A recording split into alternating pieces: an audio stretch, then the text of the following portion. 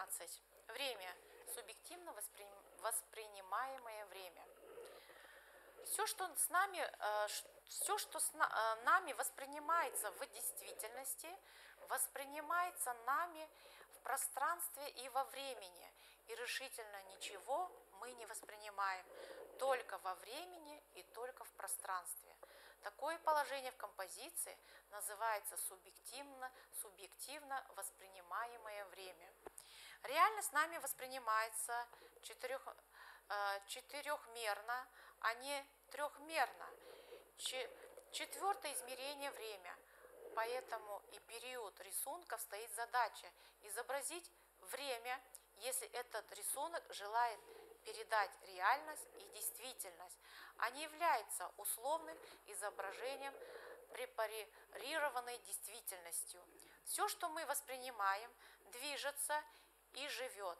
Скажем, мы можем относительно остановить это движение, например, посадить модель в определенную позу, но ведь мы сами во времени и воспринимаемое, воспринимаемое движется. Это явление носит название циклическое. Скажем, мы можем сесть неподвижно и, так сказать, избрать точку зрения, но эта так называемая точка зрения имеет два глаза. Мы бинокулярны и, следовательно, получаем движение, как бы сжатое в момент, время как бы в данное, в данное в единовременности. Чтобы хоть условно приблизиться к вневременному восприятию, мы должны смотреть одним глазом и механически использовать его как объектом для проектирования натуры. Такое изображение, конечно, только условно будет невременным, так как глаз будет, будет в один двигаться и использовать время для восприятия. Во всяком случае, в некоторой натяжкой, вернее, условно мы можем для цели анализа хотя бы для хотя бы оптического принять этот опыт. Но мы ни в коем случае не можем считать такое изображение сколько сколько-нибудь передающим действительность, так как она, то есть действительность, и временная, и пространственная. И здесь мы имеем дело не только с пространственным изображением.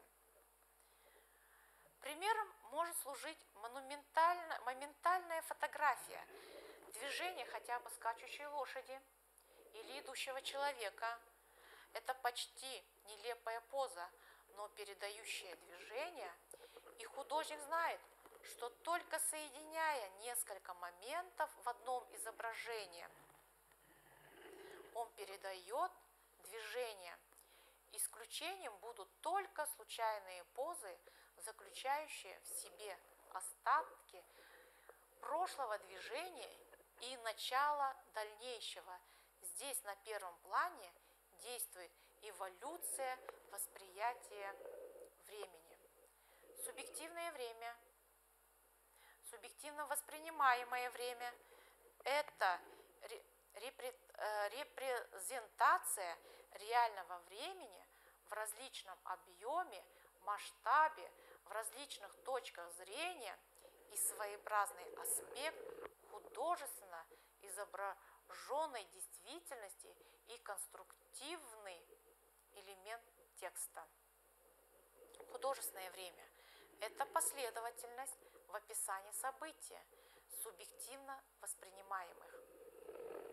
Художественное время – это одновременно представление о течении времени, которое характерно для автора, творца и само время, изображенное в литературном произведении более или менее последовательно или дробно.